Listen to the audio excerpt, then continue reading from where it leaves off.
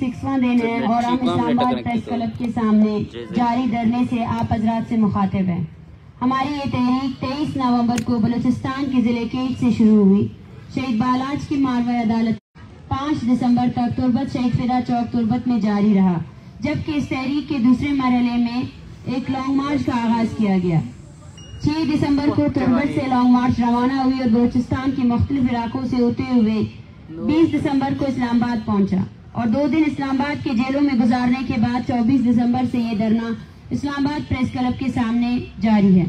इस्लामाबाद में लॉन्ग मार्च के मुतालबात पर संजीदगी से अमल करने के लिए रियासत को एक हफ़्ते की मोहलत दी गई थी।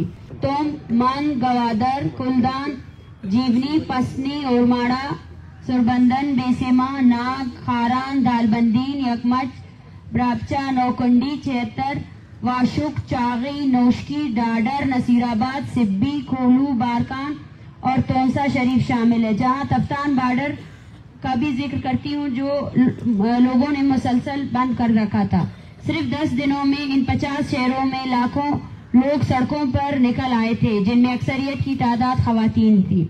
हम समझते हैं कि बलोच नस्ल खुशी और रियासती मजालिम के खिलाफ लाखों लोगों का सड़कों पर आना इस तहरीक के हक में एक अवामी रेफरेंडम है। इस तहरीक के काल पर सिर्फ़ एक इलाके और एक रीजन से नहीं, बल्कि मल्लीर, कराची से लेकर तोसा शरीफ तक लोग रजाकाराना बुनियादों पर अपने घरों से निकल रहे हैं और इस तहरीक का हिस्सा बन रहे हैं। जो खुद इस बात का सबूत है, बलोच नस्ल खुशी का मसला कितना हकीकी मसला है और ये तहरीक किस कदर अवामी तहरीक है।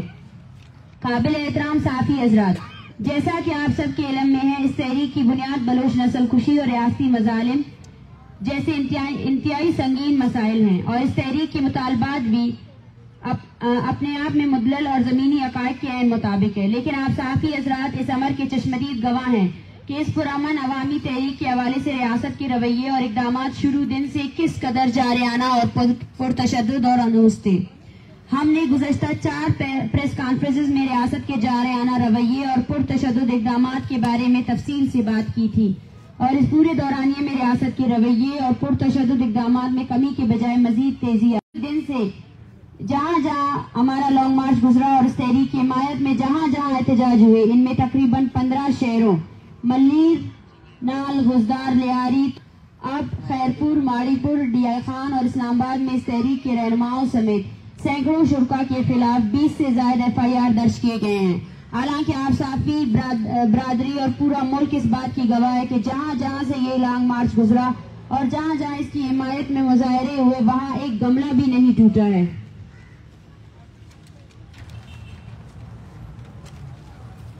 जबकि हमारे इस पूरे तहरीक के दौरान तहरीक के रहनुमाओं, हमदर्दों और शुरा को गिरफ्तारियों का सामना है, जिसमें सबसे पहले जब लॉन्ग मार्च के पुरमन शुरा इस्लामाबाद पहुँचे तो इन पर तशद के बाद 300 के करीब शुरा को गिरफ़्तार किया गया, जिसमें खातन बच्चे और बुज़ुर्ग और तलबा भी शामिल थे, जबकि डीजी खान तोजा शरीफ और लियारी में तहरीक के में होने वाले एहतजाज में शरीक दर्जनों शुरा को गिरफ़्तार किया गया था। इस लॉन्ग मार्च में शरीक हमारे दोस्तों और इनके खानदान शुरू दिन से प्रोफाइलिंग और अरेस्टमेंट का सामना कर रहे जिसमें इनकी वीडियोस और तस्वीर बनाए जा रहे हैं जबकि लॉन्ग मार्च में शरीक जिबरी गुमशुदगी के शिकार अफराद की लवाकिन के घरों में चापे मारे जा रहे हैं और इन्हें फ़ोन करके मुख्तलिफ़ तरीकों से धमकियाँ दी जा रही हैं। इसके अलावा हम बलूचिस्तान से डेथ स्क्वाड के खात्मे का मुतालबा कर रहे हैं लेकिन हुकूमत बलूचिस्तान और विफाकी हुकूमत ने डेथ स्क्वाड्स के लोगों पर मुश्तमिल ग्रोह का एक एहतजाजी कैंप हमारे धरने के साम, बिल्कुल सामने लगाया है जिसके ज़रिए आए रोज हमें हरासा किया जा रहा है। जबकि इस पूरे तहरीक के दौरान पाकिस्तान के मेन स्ट्रीम मीडिया ने हमारे कैंप का मुकम्मल तौर पर मीडिया ब्लैकआउट किया हुआ है। हालाँकि ये मुल्की तारीख की सबसे बड़ी पुरअमन तहरीक में से एक है, जिसमें लाखों लोग शामिल है।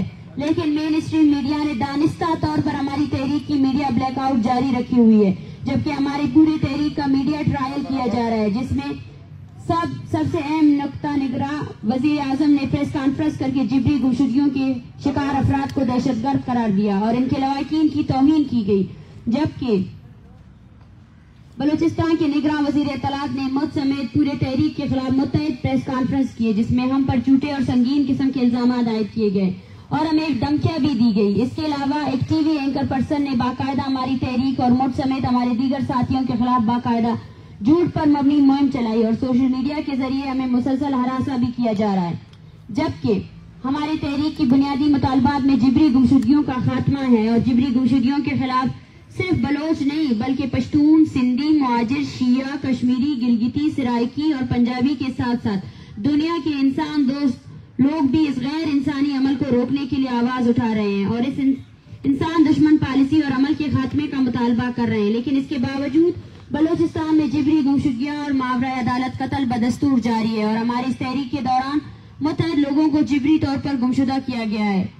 और कल बलूचिस्तान के इलाके उत्तल में कोस्ट गार्ड ने एक गाड़ी पर फायरिंग की और इस गाड़ी के ड्राइवर को कत्ल किया, जिसकी सुनवाई ना हो सकी और इंसाफ के दरवाजे अब भी बलोच लोगों के लिए बंद कर दिए गए हैं। हम ये कहने में अब बजाने बह की रियासत, रियासती पूरी मशीनरी बलोच नस्ल कुछ पॉलिसियों में बर रास्त मुलविस है और मजलूम कौमों की अमली इजहार इस तहरीक के तीसरे फ़ेज़ में लाखों की तादाद में बलोच हवाम ने सड़कों पर निकल कर किया है। मोज साफी हजरात, जैसा कि आपके इलम में होगा कि बलूचिस्तान एक जंग जदा खत्ता है, जहाँ रोज बलोच बच्चे, औरतें, बूढ़े, जवान जुल्म की चक्की में पिस रहे हैं। आलिम ईरान ने बलूचिस्तान के इलाके पंजगूर में मिसाइल और ड्रोन हमले किए, जहाँ दो मासूम बच्चे शहीद हुए। और इसके बाद आज सुबह मगरबी ईरान के जेर इंतज़ाम बलूचिस्तान में जाएगा या गायब किया जाएगा। लेकिन अब ऐसा हम होने नहीं देंगे। इस तहरीक का एक मकसद यही भी है कि हम इस रियासत और इसके तमाम अदारों को ये बता सके कि रियासत भले ही हमें इंसान ना समझे, लेकिन हमारा सरमाया हमारे लोग हैं और और वो ज़मीन है जिस पर हम सदियों से रह रहे हैं। हम अपने बलोच अवाम और अपने सरजमीन की को रियासती दरिंदगी और लूटमार का निशाना नहीं बनने देंगे। हम पूरे मुनजिम अवामी कुत के साथ अपने कौम की नस्ल खुशी के खिलाफ डट कर खड़े हैं। खड़े थे, खड़े हैं और आखिरी दम तक खड़े रहेंगे। तुम तशद करोगे, हम इससे ज़्यादा उबर कर आएँगे। इसके अलावा इस्लामाबाद हाई कोर्ट ने इस्लामाबाद इंतजामिया के वाजिया तौर पर हमारे पुरमन एहतजाज के साथ ताउन करने का हुक्म दिया था और इस्लामाबाद इंतजामिया से हमने हमारे धरने के मद्दे मुकाबल लगाया गया सरकारी कैंप में खतरनाक प्रोफेशनल किलर्स की मौजूदगी के सबब सिक्योरिटी खदशात का इजहार किया था। लेकिन इस्लामाबाद इंतजामिया इस पर खतर नवीद को नजरअंदाज करते हुए और इसके अलावा हमें वहाँ से मुख्तलिफ़ तरीकों से हिरासा करने के हवाले से भी इस्लामाबाद इंतजामिया को आगाह किया गया, लेकिन इंतजामिया ने संजीदगी का मुजाहरा नहीं किया, जिसके सबब डरने में शरीक खातन बच्चे और बुज़ुर्ग जहनी अजियत का शिकार है। हमारे पुरमन तहरीक के खिलाफ ये सिर्फ़ रियासती पुरतशद इकदाम और गैर संजीदा रवैये के चीदा चीदा नुकात। है अगर हम तमाम पहलुओं पर बात करें तो शायद ये पूरा दिन भी इसके लिए कम पड़ जाएगा। मोजे साफी हजरात। जैसा कि हम ज़िक्र कर चुके हैं कि बलोच नस्ल खुशी के खिलाफ जारी इस तहरीक के अपने तीसरे मरहले में है, जहाँ मुल्क भर में एहतजाजी मुजाहरे जारी है और इसके साथ यहाँ इस धरने में रोज़ाना की बुनियाद पर बलोचिस्तान भर से जिबरी गुमशुदगियों के शिकार अफराद की लवाकिन आ रहे हैं और इसका हिस्सा हो हैं और यहाँ इनके प्यारों की जिबरी गुमशुदगियों के केस को बैन अवी कानून के तहत रजिस्टर किए जा रहे हैं। जबकि आज हम इस प्रेस कॉन्फ्रेंस की तवसत से बलोच नस्ल खुशी के खिलाफ जारी इस तहरीक को जारी रखने का ऐलान करते हैं, जिसमें इस तहरीक के तीसरे फ़ेज़ जहाँ मुल्क भर में एहतजाजी मुजाहरे जारी होने के साथ साथ अब इस तहरीक के चौथे फ़ेज़ का ऐलान करते हैं, जिसमें मुल्की और बैन अवी सतह पर बलोच नस्ल खुशी और बलूचिस्तान में रियाती जुल्म और जबर के खिलाफ आगाही मुहिम चलाई जाएगी। इस आगाही मुहिम में हम इस्लामाबाद के मुख्तलिफ़ सेक्टर्स में विज़िट करके घर घर आगाही मुहिम चलाएँगे और इस्लामाबाद के अवाम को हमारे साथ होने वाले रियासती मजालिम, जब्र और बरबरीत की हकीकत से आगाह करेंगे। और इसी तसलसल को जारी रखते हुए 21 दिसंबर को तमाम मजलूम अकवाम का एक बैन अवी कॉन्फ्रेंस का भी इनका करेंगे। आखिर में हम एक बार फिर इस प्रेस कॉन्फ्रेंस के ज़रिए से रियासत को पैगाम देना चाहते हैं कि ये एक पुरमन एहतजाजी तहरीक है। अपने मुतालबात के तस्लीम होने तक हर सूरत जारी रहेगी। जिसके लिए हम हर तरह के सख्त हालात का सामना करने के लिए तैयार है। अब ये हमारे रियासत की संजीदगी पर मुनसर है कि वो तहरीक को कितना तूल देना चाहती है। और मुजाकर की तरफ़ सबसे पहला कदम, बालाज बलोच समेत अताउल्ला बलोच के कातलों को फौरी सजा और इस तहरीक से जुड़े हुए हर फैमिली के बच्चों की बाजियाबी शामिल है। आखिर में फिर से ये कहना चाहते हैं कि इस तहरीक से जुड़े किसी भी शख्स या इस तहरीक के दौरान अगर कोई ना कोई भी नाखुशगवार वाक्य पेश आए तो इसकी जिम्मे इसकी तमाम तर ज़िम्मेदारी रियासत और इसके अदारे पर आयद होगी थैंक यू डॉक्टर साहबा एक सवाल है। लोग बहुत सारे पूछ रहे हैं कि आप पाकिस्तान में बैठ के यूएन से क्यों मुतालबा कर रहे हो? और पाकिस्तान में जो ये कल ड्राइवर शहीद हो गया पंचगुर में जो हमले हो गए इनके बारे में आप क्या कहते हैं? पाकिस्तान में जो कल ड्राइवर शहीद हुआ है उसे मारा किसने है? उन्हीं के खिलाफ तो हम यहाँ बैठे हैं ना। रियासती जबर है रियासत बर रास्त मार रही है, इसलिए हम यूएन के पास जाना चाहते हैं। कल रियासती इदारों ने डायरेक्ट हिट किया है उस बंदे को। उनकी उम्मीद में हम यहाँ बैठेंगे कि वो हमारे पास आएँगे। उनसे तो कोई उम्मीद नहीं है ना। उन्होंने डायरेक्ट फायर किया है। डॉक्टर साहब, ये बताइएगा ये जो आपने ईरान वाले हमलों की बात की किस तनाजुर में देखनी है कि दोनों तरफ़ आपने बलोच का हवाला किया देखिए, ये बलोच नस्ल कुशी की जारी वो पॉलिसी है जिसके खिलाफ हम लोग यहाँ बैठे हैं। इसका मैं यही कहना चाहूँगी कि दोनों अतराफ औरतें और बच्चों को निशाना बनाया गया है। दोनों अतराफ में दोनों वो कुतें हैं जो औरतों और बच्चों को मारने पर मुबारकबादियाँ दे रही हैं। कल जब बच्चों को मारा गया तो मुबारकबादियाँ दी गई। और आज भी वो बच्चों को मारने पर शाबाशियाँ बटोरी जा रही हैं। कि आपको आप जो है ना, ईरान को शाबाशियाँ दे या ईरान आपके पाकिस्तान को शाबाशियाँ दे। तो ये वही जारी नस्ल खुशी है जिसके खिलाफ हम लोग यहाँ बैठे हैं। और हम मुतालबा करते हैं कि अपने फेक सिक्योरिटी के नाम पर मासूम बच्चों की कत्लेआम बंद की जाए। बच्चों का कत्लेआम बंद किया जाए। वो बच्चे जो शायद ज़िंदगी के अभी पहले स्टेज पर भी नहीं थे, उनको पता भी नहीं था, आप उनको, आप उन पर अमला करके अपने कौन से सिक्योरिटी के तहफ़ करना चाहते हैं?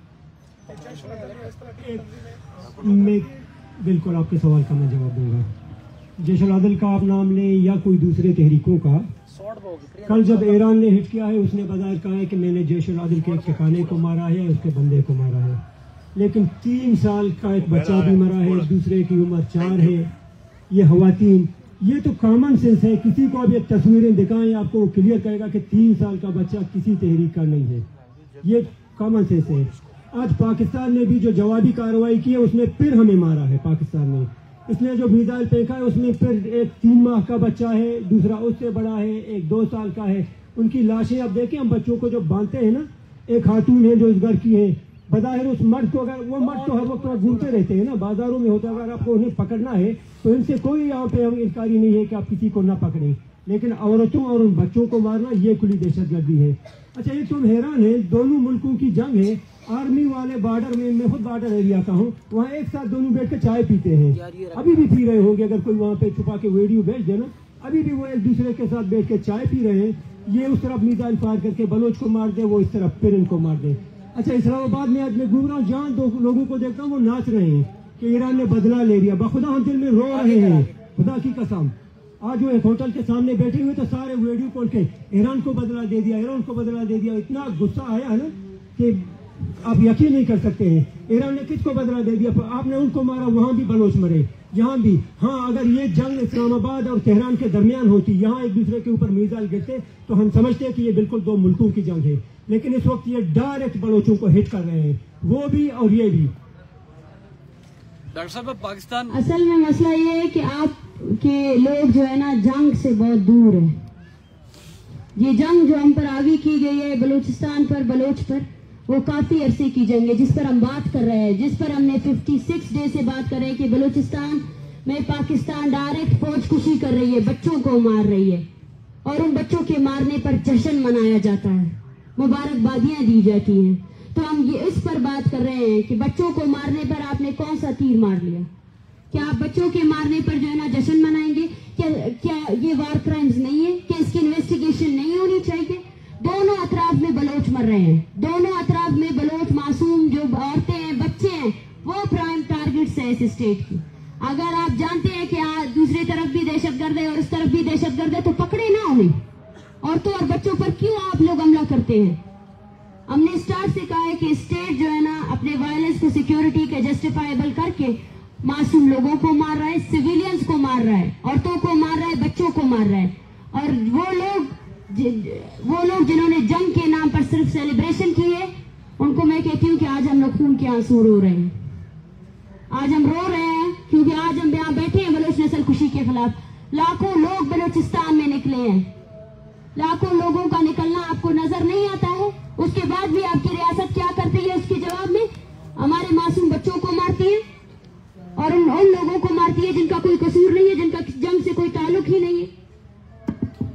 काउंसिल के चेयरमैन ने दो दिन पहले ताहिर अशरफी ने सामने वाले कैंप में एक प्रेस कॉन्फ्रेंस की और कहा कि ये जो इस सामने वाले कैंप में लोग बैठे 200 हफ़्ते या 200 साल यहाँ पर बैठे रहे मैंने वजी अजम पाकिस्तान अनबारुल काकड़ से बात की है कि इनके साथ किसी किस्म की रियायत बरतनी नहीं है, क्योंकि ये रियासत के खिलाफ प्रोपोगंडा कर रहे हैं। तो क्या समझती हैं, पाकिस्तान के वजी अजम की म्यूचुअल कंसर्न से ऐसी प्रेस कॉन्फ्रेंस होती है तो आपको इंसाफ मिल पाएगा यहाँ, इस्लामाबाद में बैठकर?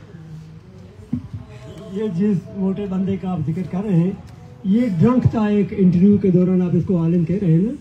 इंटरव्यू के दौरान इसने शराब पिया था और उसकी एक और वीडियो से पहले भी हमारे पास आई थी, गाड़ी में इसे पुलिस वाले उतार रहे हैं।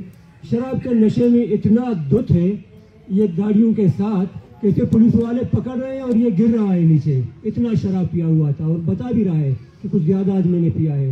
ये है आके हमारे बारे में कुछ बात करें, मेरे ख्याल में जैसे दो टके के लोगों के तो हम सवालों के जवाब भी ना दें।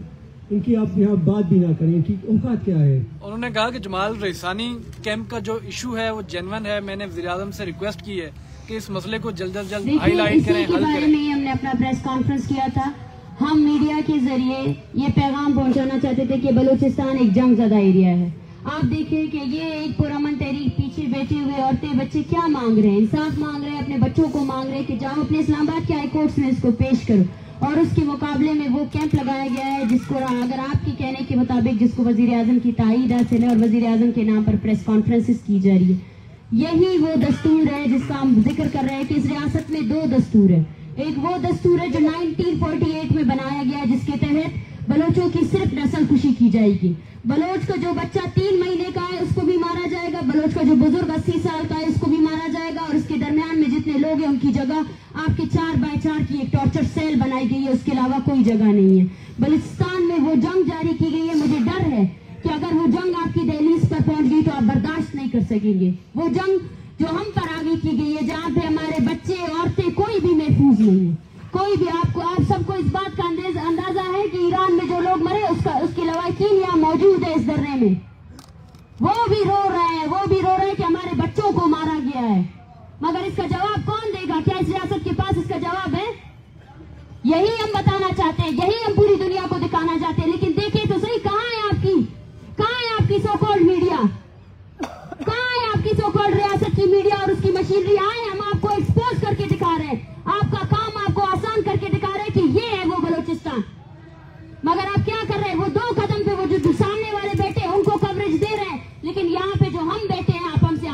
मिला सकते। आँखें मिलाने की ज़रूरत नहीं है आप लोगों में, इसी वजह से आप ये बातें कर रहे हैं।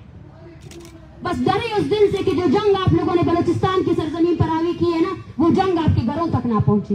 वो जंग आपकी दहलीजों तक ना पहुँचे, जब बलोचों के तीन महीने के बच्चे भी आपकी बमबारियों से मरते हैं। तीन महीने के बच्चे। और अफसोस, बेजमीरी का मकाम तो देखिए शर्म आनी चाहिए तुम लोगों को कि तुम लोग इस पर सेलिब्रेशन कर रहे हो। खुशी मना रहे हो कि आपके आपके नंबर वन एजेंसी और आर्मी के मिसाइल से मरने वाला जो बच्चा है, वो तीन महीने का बच्चा है। खुशी मनानी चाहिए आप लोगों को। ये आप, आपके एज अ कौम, आपकी पस्तगी का इजहार करता है कि आप लोग कितना पस्ता सोच रखते हो।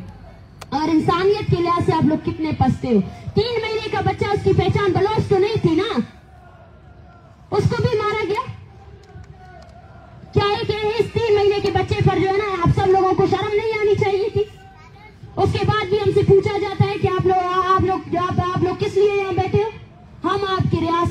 तमाम तर मजालिम को एक्सपोज करने के लिए बैठे हैं। करते रहेंगे करते रहेंगे। और मैं बखुदा कहती हूँ कि ये लोग यहाँ से चले भी जाए ना, और भी आएँगे। आते रहेंगे। हमने आपकी तारीख में ना जाकर बलोचों की तारीख देखे। आपकी तारीख में धोखा लिखा है और हमारी तारीख में कुर्बानी। आपने बंगालियों